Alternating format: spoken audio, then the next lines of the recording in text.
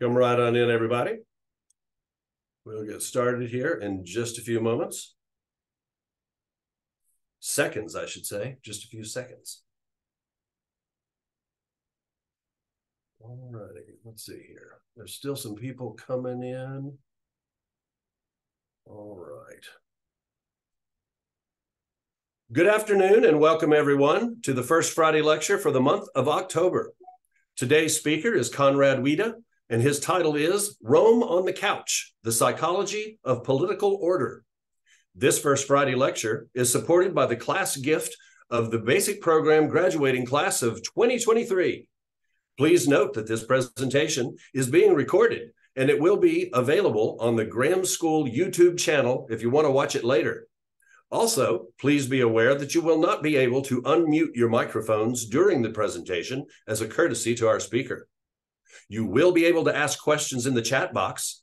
You can do so at any time during the presentation. Questions that you type in the chat box, I will keep track of, and then I will pose them to Conrad at the end of the lecture during our question and answer period. During the presentation itself, as I say, all will be muted except for our speaker. Conrad and I will be able to see your video, but we will not be able to hear you. So if you choose to leave your video on or to turn it off, it is at your discretion. Conrad's video will be spotlighted for the most part during the presentation. Consequently, the best way to view the lecture is to select speaker view instead of gallery view. Today's lecture is being sponsored by the basic program of liberal education for adults at the University of Chicago's Graham School. My name is Kendall Sharp, and I am the Cyril O. Houle Chair of the BASIC program. Before I properly introduce our speaker, I'd like to say a few words about the BASIC program, the Graham School, and our upcoming courses and events. You can find links to more information in the chat box.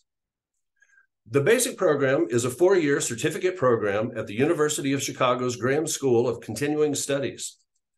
Graham offers an array of programs besides the BASIC program, since 1946, we have offered our students a rigorous liberal arts curriculum based on the principle that there is no substitute for direct engagement with original thinkers in their original texts. Through focused discussion and close reading, our classes provide direct encounters with some of the great works of classical and Western culture in a dedicated community of adult learners led by experienced University of Chicago educated instructors. Registration for winter quarter 2024 courses will be open on October 18. Also, in news from our travel study program, dates are set for spring break in Greece and for the fortnight in Oxford for 2024. So save the dates and find the links in the chat. Our next First Friday lecture will happen on November 3 when our speaker will be basic program instructor David Shiner. David's title will be From Muthos to Logos. As I mentioned before, this presentation is being recorded. The recording will be available on the Graham School YouTube channel early next week. Our speaker today is Conrad Wiede. Conrad holds a BA in Classics from the University of Chicago and a PhD in Classics and from the Committee on Social Thought at Chicago. He has taught in the Social Sciences Core and Classical Languages in the college and is currently an instructor in classics at Loyola University, Chicago. Conrad's research interests are in Latin literature and Roman political thought. Conrad is preparing a manuscript named Horace Reads Virgil Aesthetic Education and Moral Life and has published on the text and reception of Horace and the political thought of Pliny the Younger. Now it is my pleasure to turn things over to Conrad. Conrad? Yes, um, thank you, Kendall, for the introduction, and uh, Zoe for sort of keeping this uh, this ship afloat. Um, and uh, thank you to all of you um, for coming today. Um,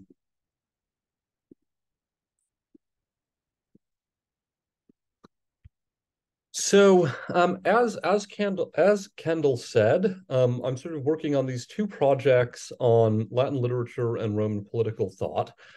Um, one on Horace's reading of Virgil as something that Horace does to sort of try to figure out what his um, moral life is going to look like after the Roman Republic.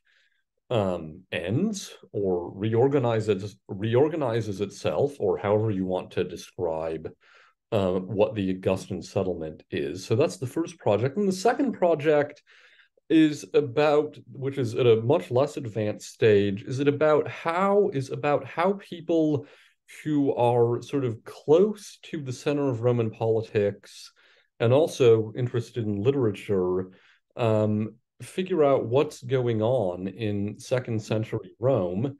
Um, so at this point, um, Rome is still, you know, referring to itself as um, res publica, um, but it's obvious to anyone involved that it doesn't work the same way as it did a couple hundred years before. So people in some parts of their lives, it's like people pretend that things haven't changed, but then in other parts of their lives, they analyze what has changed about their political lives, but in a way that enables them to keep functioning in the new system, um, maybe in a way that they find sort of um, morally or sometimes aesthetically worthwhile. Um, so this lecture today is going to have sort of two parts. One is going to be about what the Romans thought their constitution was and um, kind of how how they saw themselves interacting with it when it was sort of clear that the range of the range of actions that were needed to kind of keep this empire going um, and also to kind of motivate one's own career in the system that it had, uh, this range of actions didn't sort of fit one to one. There, there was like a, a sort of mismatch or dissonance almost between what people were doing and thought they needed to do and the uh, set of terms they had to describe their political system. So the first part is going to be about this mismatch between the Roman constitution and sort of lived political experience. And um, then the second part of the lecture is going to explore um, what people in the second century thought was sort of worthwhile about participating in politics and how to explain um, to themselves what they were doing um, and I think I think a really interesting way of explaining this that I want to eventually elaborate more on, if this ever turns into another book, is um, to look at this through this sort of psychoanalytic framework of um, alienation and the other's desire. So that's going to come up in the second uh, half of the talk. Um, you can also imagine maybe um, that if Rome is on the couch um, Rome's going to be looking up. And when the Romans look up, they see, well, a lot of red or ochre and um, sort of festoons and um, fake painted on molding um, on this nice, like in this nice ceiling painting um, from Oplontis uh, near the Bay of Naples. Um, so how the Romans have this term, um, SPQR, um, which goes back quite a long time as an acronym for uh, what the Roman state is uh, Senatus Populusque Romanus, the Senate and Roman people. Um, this um, this acronym continues to be used on um, manhole covers like uh, this one that is well somewhere in Rome today. Um, if you've been, uh, they're everywhere. Um, so the state has um, it has like two parts um, that seem to exclude some number of like things in the state that aren't the Senate or people but also indicate that really if you don't if you have just a senate well that's not a state um, which is why it's a big problem in the early books of livy's history of rome when a bunch of the plebeian class just up and leaves the city. Um, but also the romans seem to think that if you have a senate without a people uh, or a people without a senate uh, that that can't really be a state either of course, um, the Roman state also at various the sort of big historical phases of the Roman state are defined by the Romans and also by us in terms not of what's going on with the Senate and people, but um, in terms of what's going on with kind of a third party to this Senate people relationship. Do they have a king, uh, like in the first book of Livy? Do they have two consuls or some other assortment of Republican magistrates, like through the rest of what we have of Livy's history? Or do they have um, what we call an emperor and what they'll sort of variously call a princeps or a Caesar, or in classical Latin pronunciation, Caesar, or um, Augustus, which is a name that gets invented for a guy whose name was originally Gaius Octavius.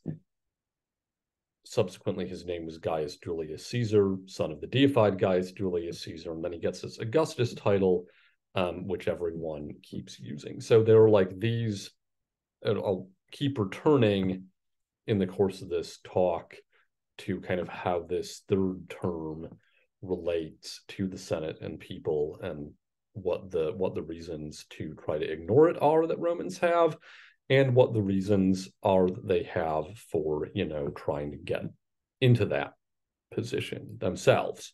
Um, but yeah first um, the the senate in the constitution is um, maybe a little counterintuitive um, looking from our perspective where we think okay the senate that is um, part of a legislature um, so Polybius, in his histories, um, devotes the sixth book out of what was 40 odd books total. Um, he devotes the sixth book to talking about how the Roman constitution works. And he says that Rome has a mixed constitution. It has a monarchical element. Uh, this is in the uh, late third and early second centuries BC. He says the Roman constitution has a an element of monarchy, which is these two consuls. It has an aristocratic element, which is the Senate, and it has a democratic element, which is the people. Um, how um, so? That's what these sort of three parts do. The three branches, we might call them, do in Polybius's scheme. They're not, though, an executive branch a legislative branch and the judicial branch. Those functions are all sort of scrambled between the elements. Um, so Polybius says about the Senate, um, eh, he prefaces this with a lengthy description of how the Senate sort of awards and oversees, um, like basically infrastructure contracts. Uh, and then he says the Senate is also responsible for dispatching embassies to countries outside Italy either to settle differences, to offer advice, to impose demands, to receive submissions, or to declare war. And in the same way, whenever any foreign delegations arrive in Rome, it decides how they should be received and what answer should be given them. The Constitution might well appear to be completely aristocratic, as this is the impression which prevails among many of the Greek states and of the kings of other countries, since the Senate handles almost all business of the state which concerns them. Um, later, um, the Senate starts passing a lot of resolutions that are called uh, Senatus Consultum Ultimum, or final decree of the Senate. Um, and these these start to work sort of like laws. Um, and actually, it might it seems like the Senate engaging in lawmaking in the Roman case is a sign that something is not running smoothly in the Republic. When Polybius is writing, he thinks the Roman Republic is like, um, I believe the the phrasing that the Penguin Classics translator of Polybius's history uses is that Polybius is writing about the Roman Constitution in its prime. Um, so there's a Senate that Polybius sees conducting foreign policy. Um, and because the Greeks um, sort of only are dealing with the Roman state in its foreign policy making capacities, um, they see this Senate doing it, conducting its business, and they think that Rome has an aristocratic constitution. So to go back to SPQR, um, SPQR does not include a monarch, Senate, and people. It does um, include maybe an aristocracy as part of this thing that is the Roman state. Um,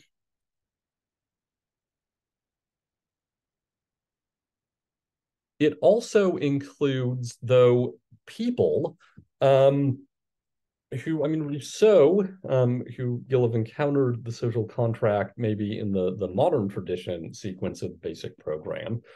Um, as as as Jean-Jacques Rousseau moves through the social contract, it becomes increasingly clear that he's interested in the Roman Republic as a potential model for um, a social contract that restores uh, the natural equality of human beings, um, and including if if the Roman Republic does that really, or if there's a sort of imaginary structure that does that, um, it's doing this through the inclusion of the Roman people in the Constitution.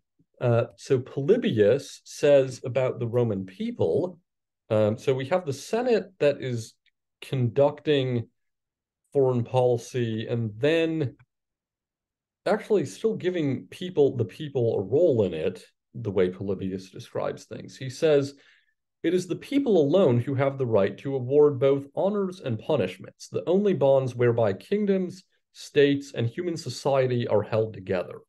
It is the people who bestow offices on those who deserve them.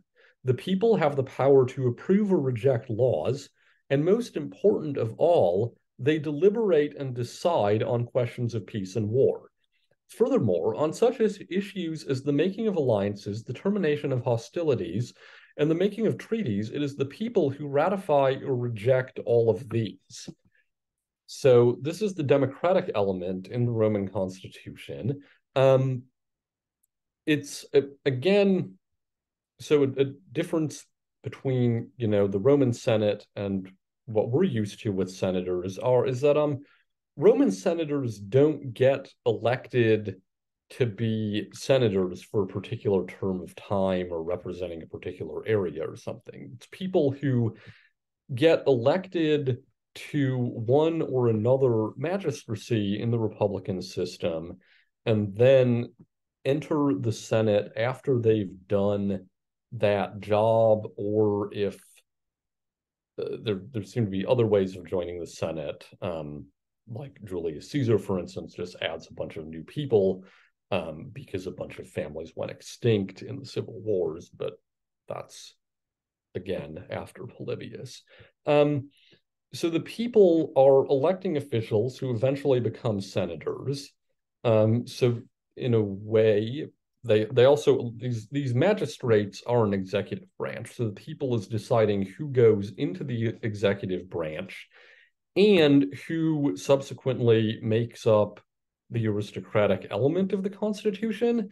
And um, also, the people are engaging in legislation by approving or rejecting laws, and they seem to be making the final decisions about the foreign policy questions on which the Senate um, interacts with um, other states in the Mediterranean world.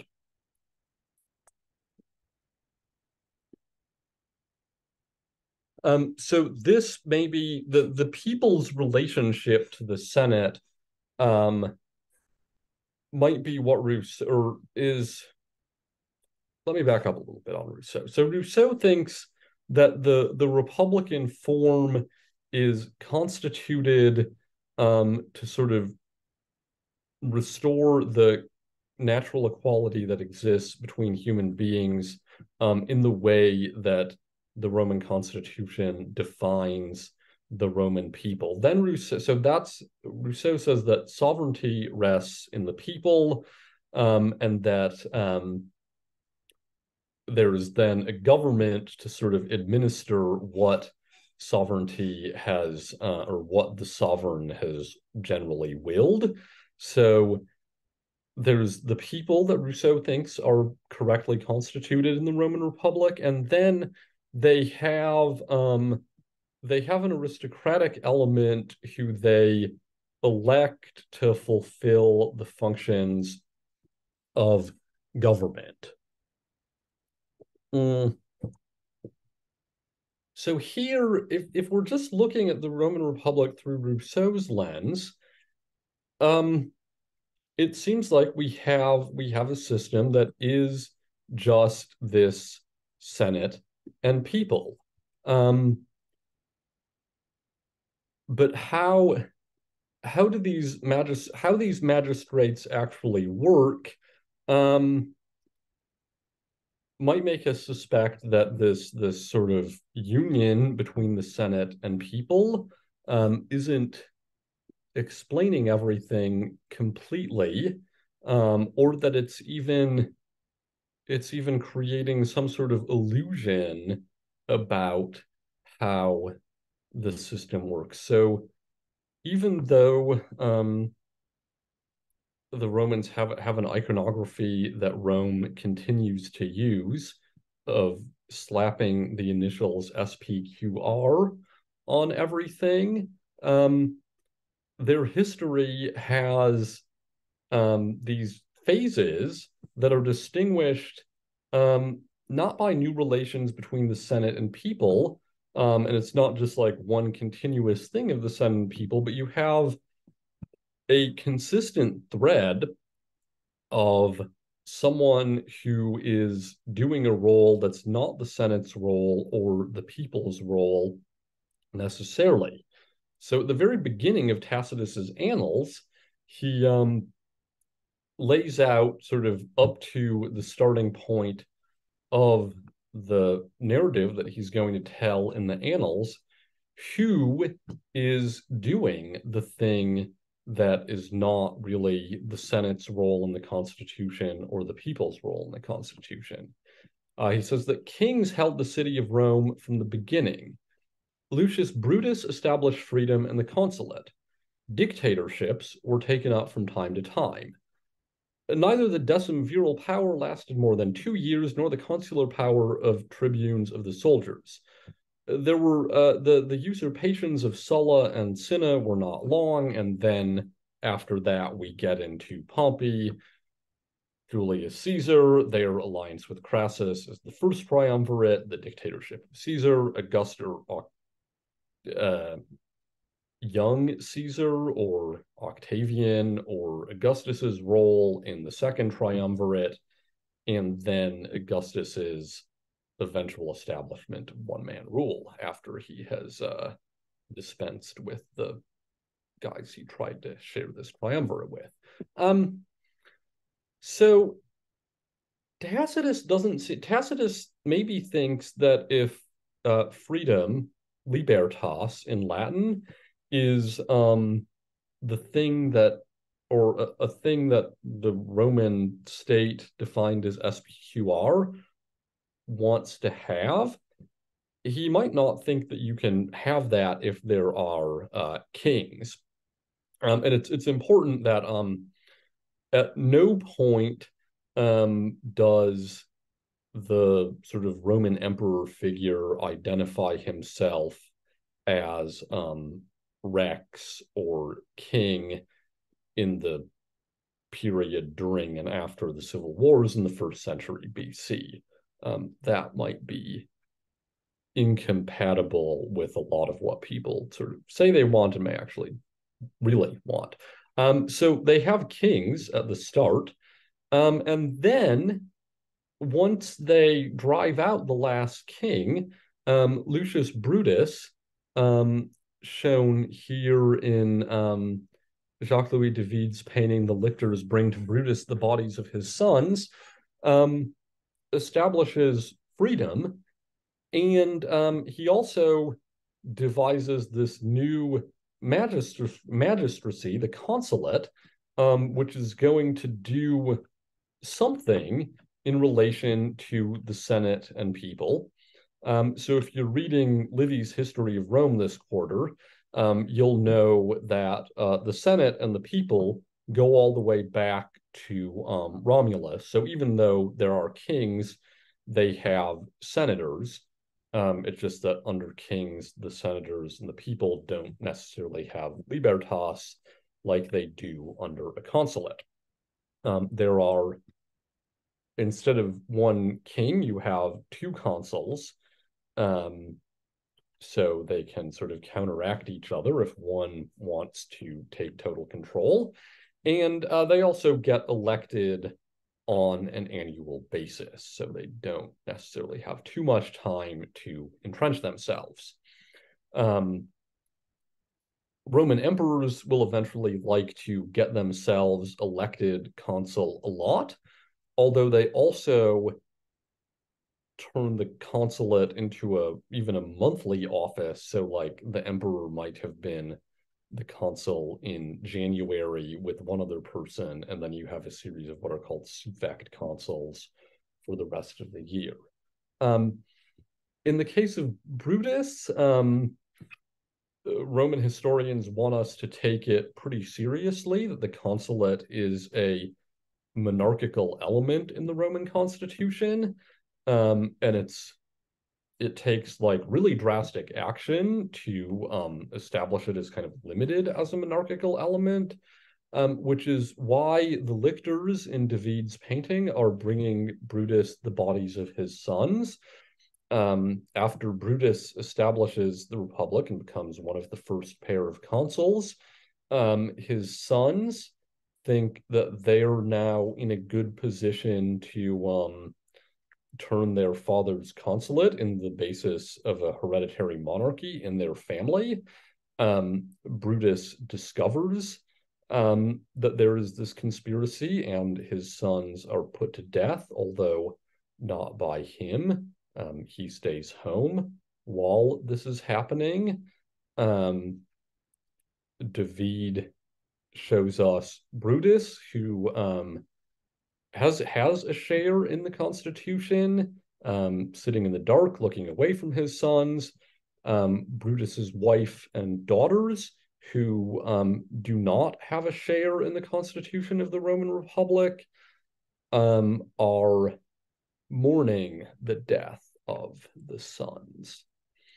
Um, the consulate um, and maybe part of what makes the Roman Republic attractive to Rousseau in the social contract is that the consulate is elected by um, the people. Um, it's not elected by the people sort of as one group picking something. The the person who gets the most votes doesn't become consul. They have they have a complicated system of block voting by these groups that are called centuries that include different numbers of people. And because eventually there were like too many people moving around a field in this process to like get each group's vote in the course of a day, they would often seem to have just stopped elections after the first day, which meant that the higher property group, um, the higher property qualification groups had even more of a say than they would on the basis of um, the division of centuries alone. Um, so when Rousseau says that the people are electing the magistrates, he's actually he, he's looking at a system that builds in um, some level of inequality and sort of one's contribution to that decision.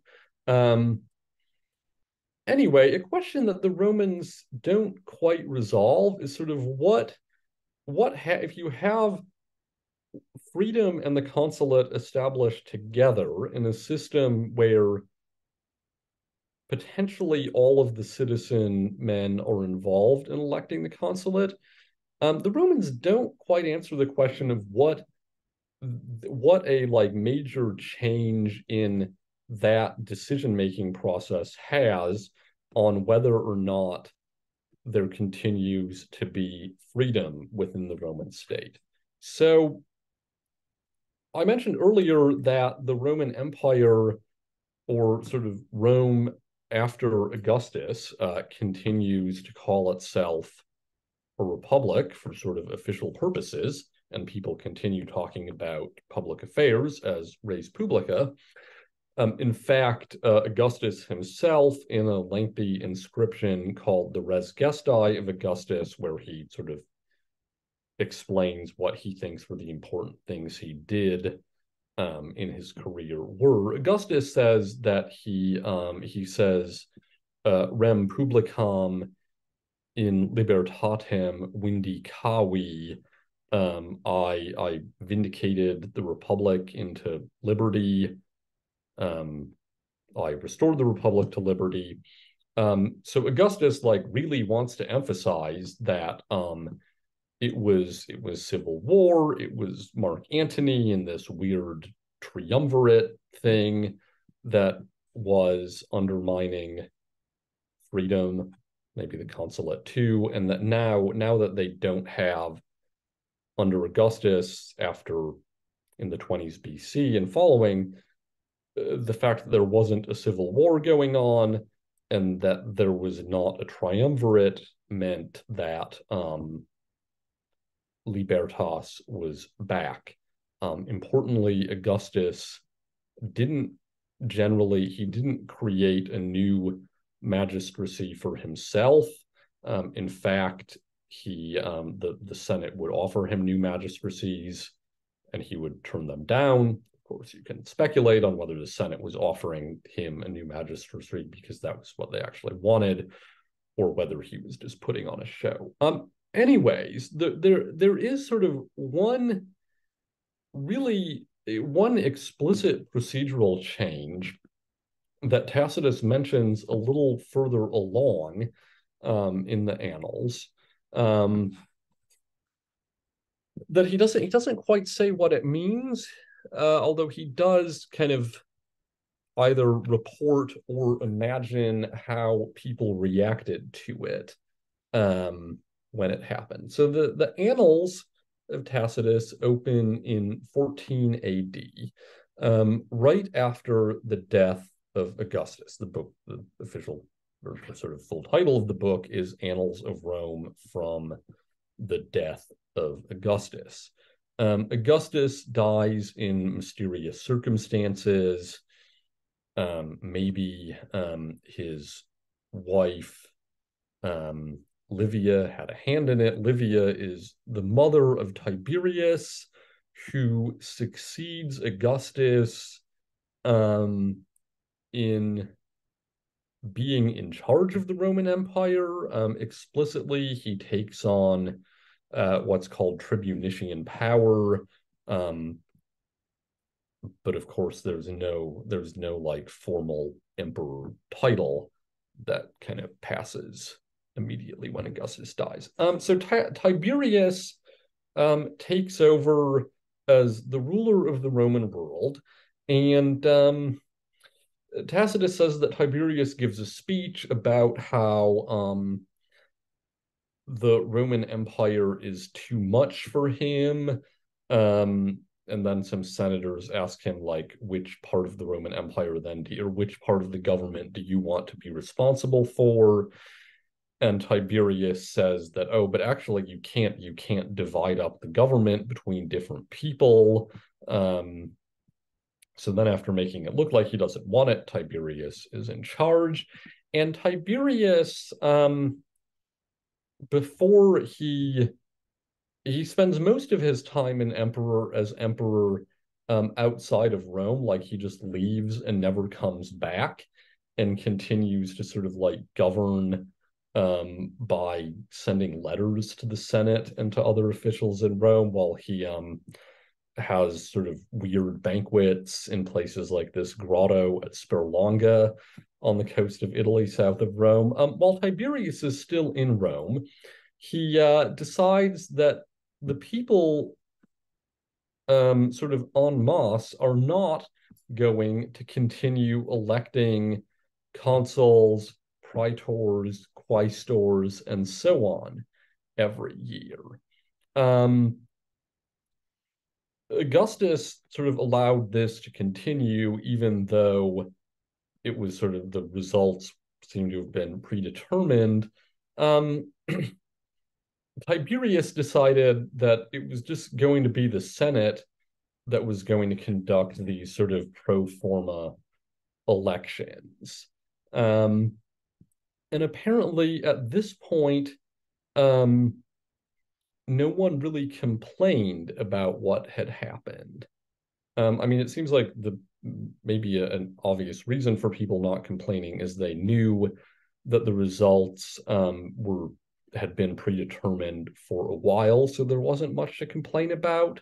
Um, but still, um, Tacitus Tacitus seems to want us to realize both that um, the the neither the substantive change that had already happened nor this formal change that Tiberius brought in um, produced a lot of dissatisfaction.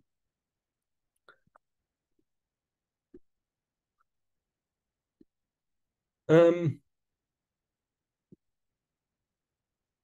so we're now into the Roman Empire, um, where the name the names of what's going on in the Constitution are still the same, um, but the kind of content of what people are doing um, has changed pretty radically.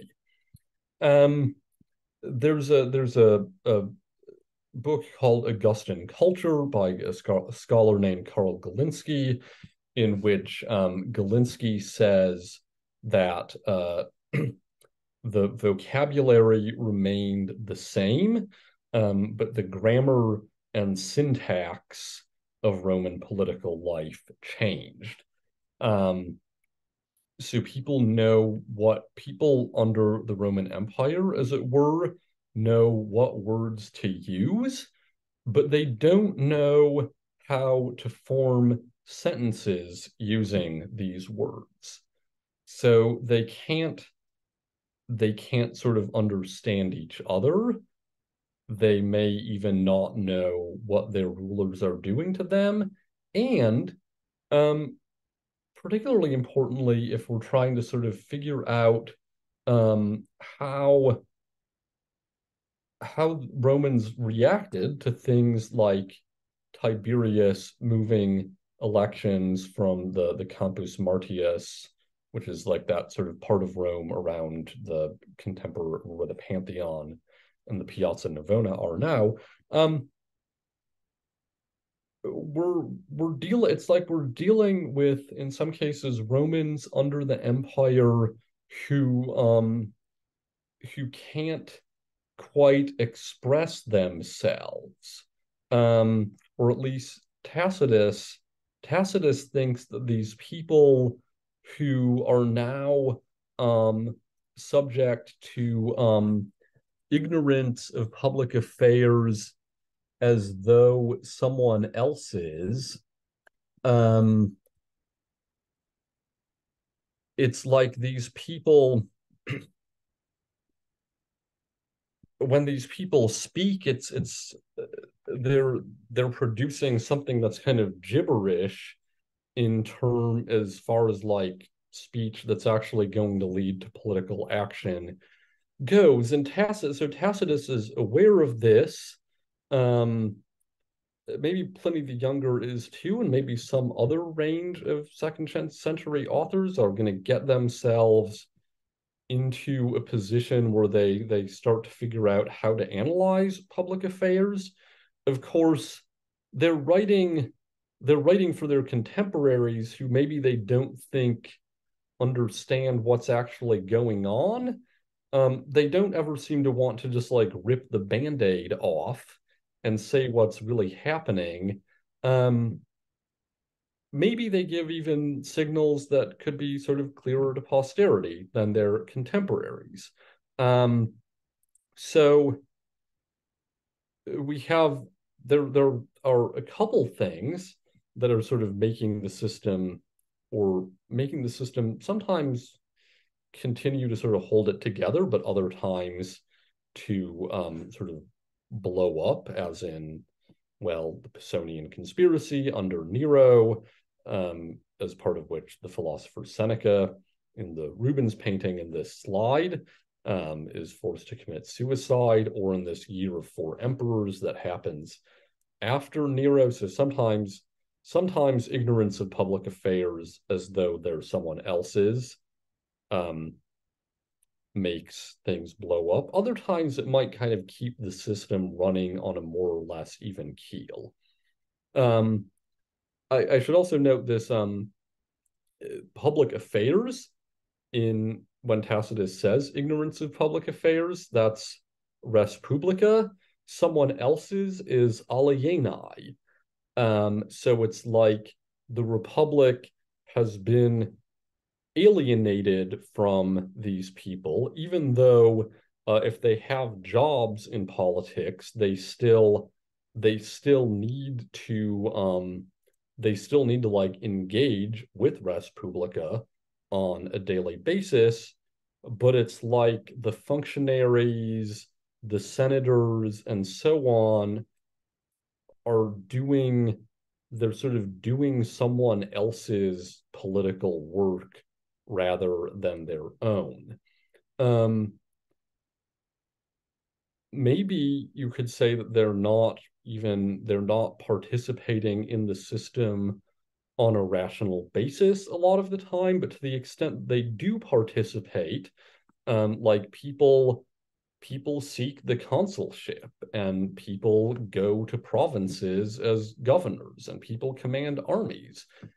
It's like they're they're doing all of this stuff out of uh, what what Tacitus's Latin calls libido.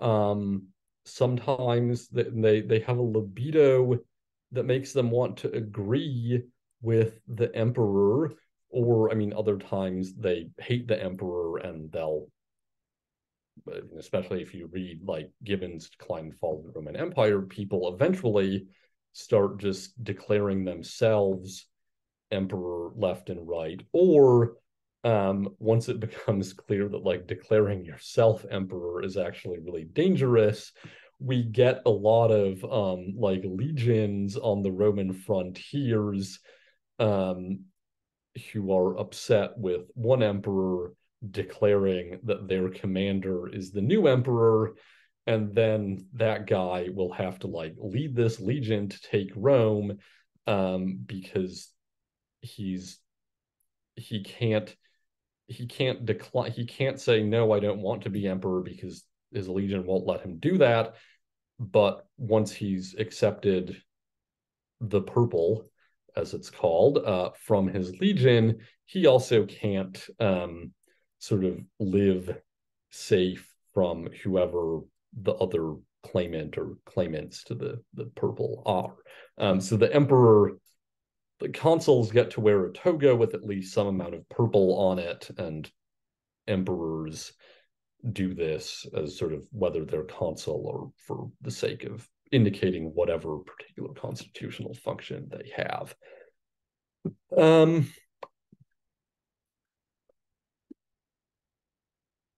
okay, so we have these these people who um, are engaging in political life.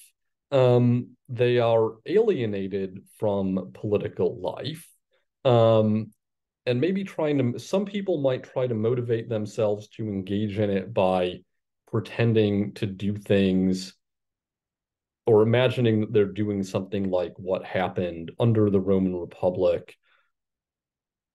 Um, or they may sort of fully commit to operating in this imperial system. And in that case, um, they sort of it's maybe a different kind of alienation because they don't necessarily have the terminology. Um, Tacitus claims that something changes in the second century AD, um, and that um, there have been within the Roman state two things that are dissociable. Um, the the principate, um, which is a term that you can use to describe one man rule, and freedom or libertas, um, which you're able to have under a consulate. And then Tacitus says um, that once um, once Nerva and then the uh, the next ruler Trajan, here referred to as Nerva Trajan, after Nerva adopts him, um, mix the or combine these two things that are dissociable. So now, when Tacitus is writing um, first the Agricola, which is a biography of his father-in-law, and then the histories and the annals, um, he says that they're they're under a principate, and in practical terms, maybe that's replaced the consulate. Um, but they have they have libertas again. Um, so then the the question um, that Tacitus doesn't engage with as much because he's he doesn't end up writing he doesn't write up he doesn't end up writing about his own times. But the question is like what are you what are you what do you do to sort of enjoy your libertas under principatus if the kind of terms for the use of libertas in public life all sort of flow up to the consulate um, so Tacitus um, writes his biography of his father-in-law. Then he um, writes something about the Germans, and he also writes a little dialogue about um, whether oratory under the empire is better or worse than under the republic.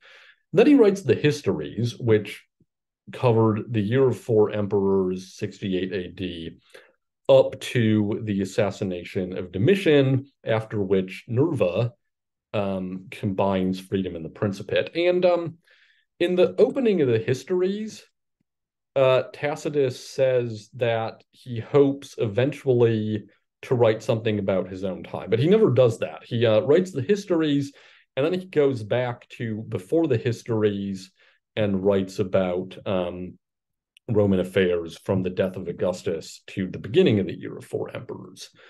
Uh, Pliny the Younger on the other hand, um, wrote was a, a, friend of Tacitus, um, although there seems it's it's clear Pliny the Younger writes about Tacitus as his friend. Tacitus does not write anything that we have about Pliny the Younger. Um, eh, what Pliny the Younger has left us, though, is this letter collection. Um, where he among the things that happens in this letter collection are he provides advice and he also solicits advice um, to and from other people who are participating in political life under um, this guy, this Emperor Trajan. Um, and I think by by looking at these letters, we can sort of see what what how how Pliny thinks a person might productively relate to the Republican past. Um, so I'm, I'll wrap up now um, by sort of pointing to a few things that happen in these letters. Um, we have this um, letter, book one, letter 23, is a letter that Pliny is writing to a younger man who is holding the office of tribune and um, has all this power over court proceedings that he's not really sure how to use. Um, because if he does the things that the office of tribunate was set up to do in the Republic in this new context, it will appear that he's playing favorites. Um, so Pliny says that if you hold this office, you actually probably just shouldn't really do anything. Um, which um, holding a bunch of pretend offices um, doesn't seem like a particularly rewarding career. So, um, what Pliny ends up doing instead, among other things, is um, reciting poetry and workshopping drafts of his speeches. Um, and he has many he has many letters where he talks about um, this practice of recitation. Um, one though, there's there's one that's one of two letters that he writes to um, uh, a lawyer called Titius Aristo, um, who Pliny says in yet another letter is sort of an example of old-fashioned republican virtue, although paradoxically, Titius Aristo does not hold political office under the empire. Um, Pliny, uh, maybe this guy Titius Aristo criticized Pliny for all of these poetry recitations. Um, but Pliny Pliny points out in one of his letters to Aristo that um, this huge list of Republican statesmen, Cicero, Pollio, Messala, Hortensius, Brutus, and so on, and then also some of these emperors um, did poetry recitations. So that shouldn't be mutually exclusive, according to Pliny, with uh, political activity.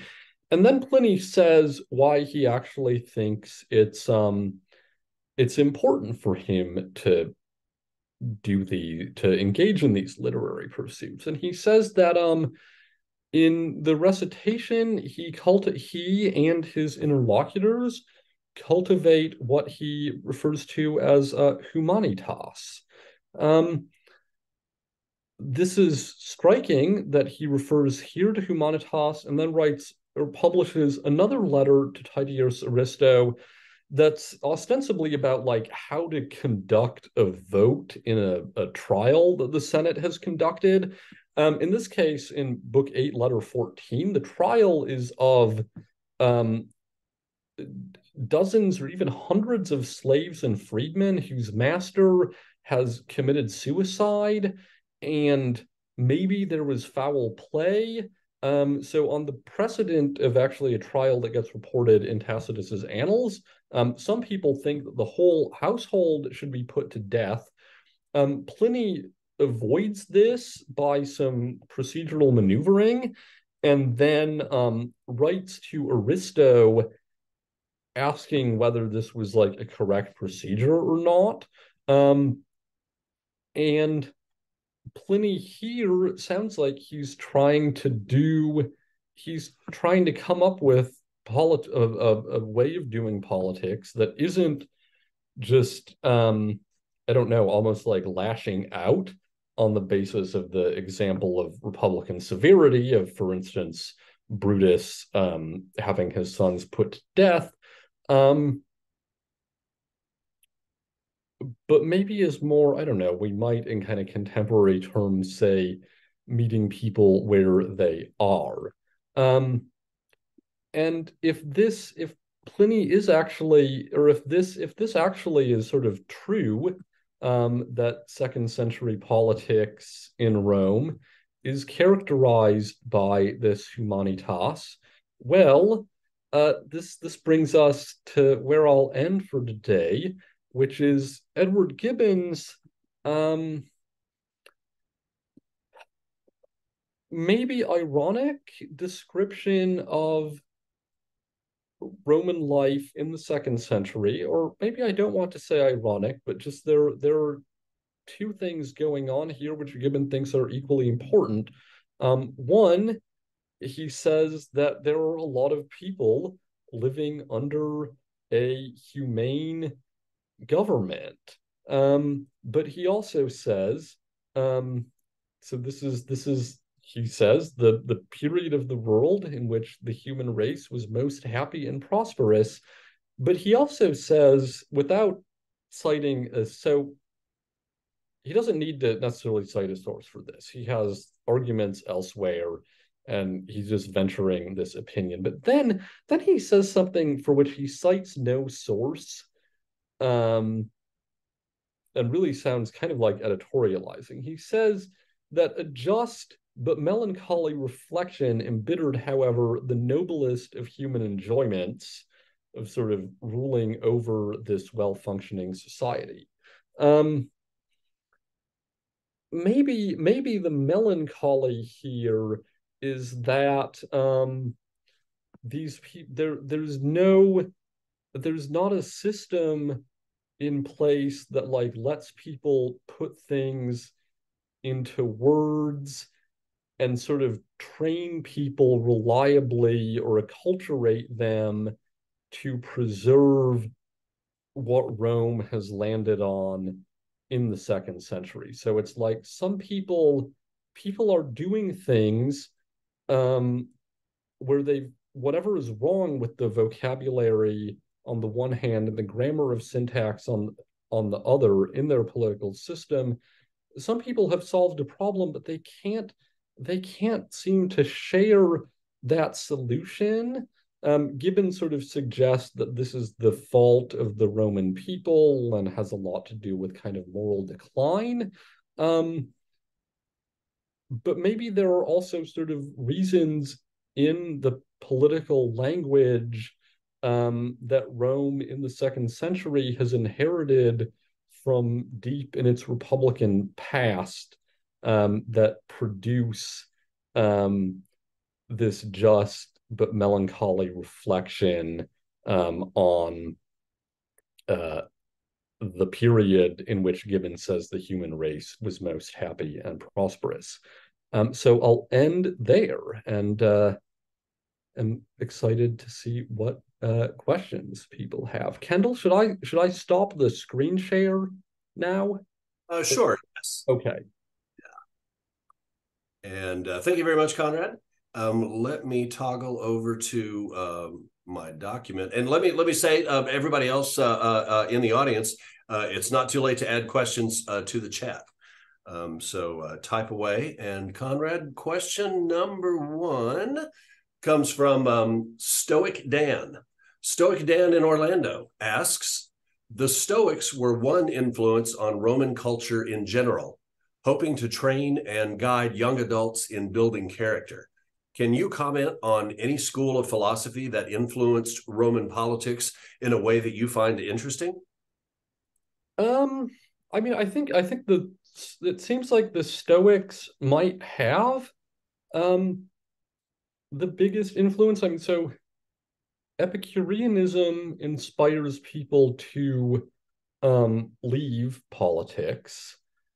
Um Platonism and Aristotelianism are um well people people know people in Rome often know a lot about both of these schools um but maybe because Plato's Republic is utopian and because Aristotle is so focused on how you do things in a Greek city that only has a few thousand people engaged in politics, they're um, maybe not like it's sort of harder to tell when someone kind of does something in Roman political life that is both noticeable and also evidently Platonist or Aristotelian.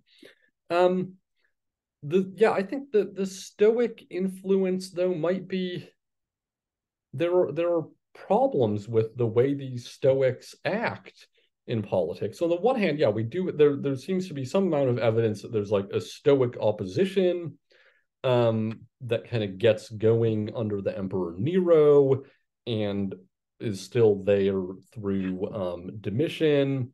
Um, but and then Marcus Aurelius is is the Stoic emperor. Um,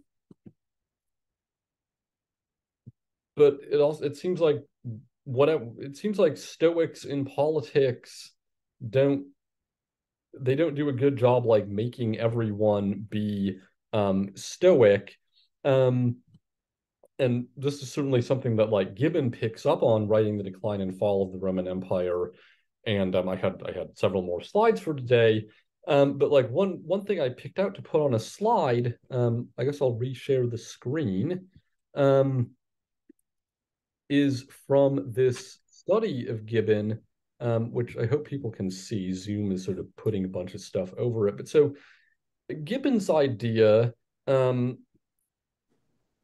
which maybe if you think about kind of what actually happens if Marcus Aurelius really is the Stoic emperor, but then passes power to his son, under whom things kind of fall apart. Um, Gibbon's perspective is that rather than doing, rather than having a philosophic school that's just teaching people to do the opposite of what the rest of the political community is doing. You can you can search for um, remedies to the problems in the problems themselves. So one example of this um, that sort of comes up like mm, maybe under under the influence of kind of how Rome gets received in the Enlightenment is something like ambition counteracting ambition in um, Federalist Paper number 51. And, and Conrad, to, to follow up uh, uh, uh, on the first part of your uh, answer, I'd like to draw a connection to the uh, the four year curriculum. You mentioned um, that uh, so in the four year curriculum, you know, in year three, students read Lucretius, uh, mm-hmm. And uh, uh, so, would you talk a little bit about what it was about Epicureanism, you know, which was, uh, you know, um, um promulgated in Lucretius's work that that would keep people out of politics, even yeah. under, since Lucretius was Republican. Yeah, I mean, so the the Epicurean life is supposed to be a life of um, kind of even, consistent pleasure um, and pain is, well, something to be avoided in Epicurean life. So maybe, um, I mean, uh, political changes might, of course, cause like pretty widespread pain in a Roman or other context. Um, but yeah, Epicureans seem to think that um, actually being involved in politics is potentially too painful. So the Epicurean sage um, is supposed to find conditions where he's not vulnerable to the, the kinds of pains that get brought on um, by active political life. And Lucretius seems to be the person Lucretius is addressing in the nature of things, this guy Memmius, um, might be like getting Lucretius's poem sort of in the wake of his own um, political scandal and failure. Thanks, Conrad. Um, we have one more question. Um, this one comes from um, Tom Iapolo. Uh, oh, two more questions. So the first one comes from uh, from Tom, who asks, uh, "Do we know if the caliber of men in the Senate, their quote probity, enlightenment, experience close quote, and integrity, tended to decline as the imperial system got more entrenched?" I don't. I don't think we know. Um, and yeah, I mean the the imperial system. Uh, it I take it, it it, entrenches itself extremely rapidly. Um, like there there were these sort of like you hear in the historical record about maybe maybe after one or another emperor dies, there will be like 10 minutes where the Senate thinks maybe we can sort of keep this thing going without another person who gets this sort of mixture of offices and powers that they've been running it with. Um, and then under pressure from the legions or just their own inability to decide on an alternative, um, they keep going with this imperial system. Um, yeah i don't i don't think there's there i mean we don't have sort of records of who all of the senators are um the historical record does seem to indicate that you had people who were making and making a sincere nope. to govern well um sort of yes at, good. How are you? what do we need? Um i think there I'll, uh, I'll intervene. Coming. So. um, and we also i mean there are also lots of especially um in sort of the like stoic accounts or the accounts the stoics want us to have of roman history um there seem to be a bunch of exemplary uh senators um even under really bad emperors um yeah, so hopefully, I mean, I guess the answer is that like either we don't know, and the Senate seems to have like been a consistently mixed bag. And uh, let's see here. Hang on a second as I'm mousing around. Let's see here. So the next question, uh, let's see, we had a couple come in. Okay, we have Ray Lucchese is next.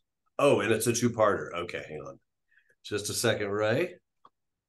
Ray is eloquent. Practicing eloquentia.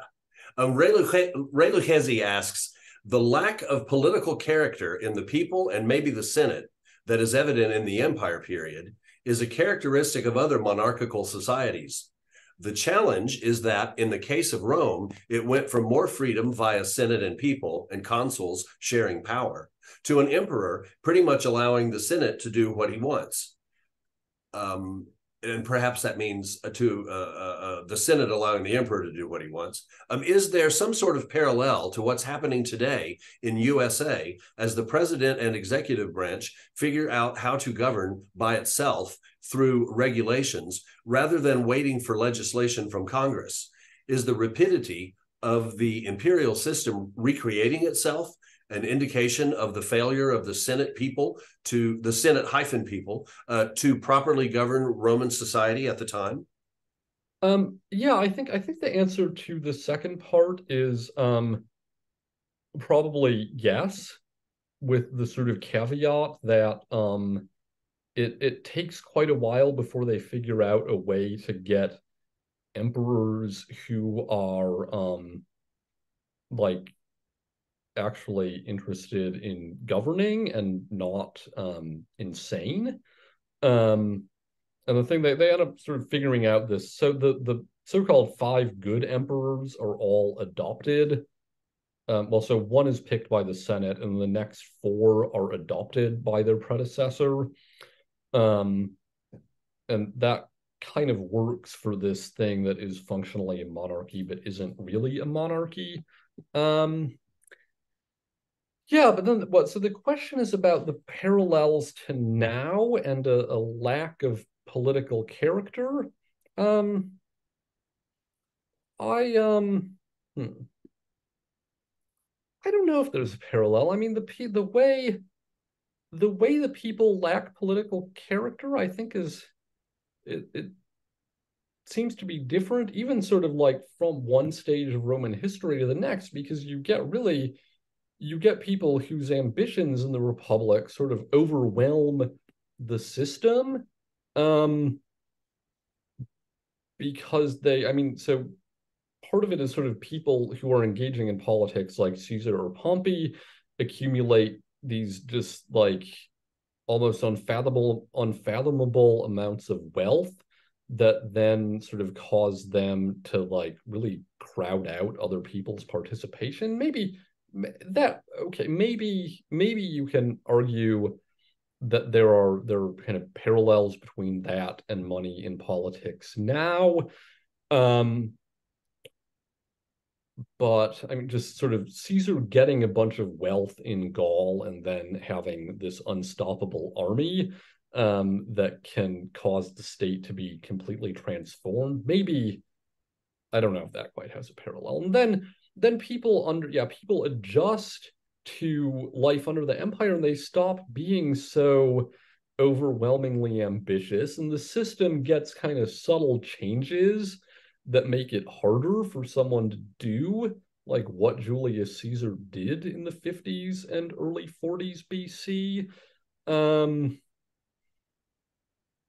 although yeah i mean maybe i take it now the executive branch if the executive branch now is doing a lot um, because of legislative dysfunction, um, the Roman Empire, like I guess Rome, Rome has a really violent way of solving legislative dysfunction, which is that I mean they they have if they have a period of legislative dysfunction, I guess where you see that is in like the the late second, early first centuries BC.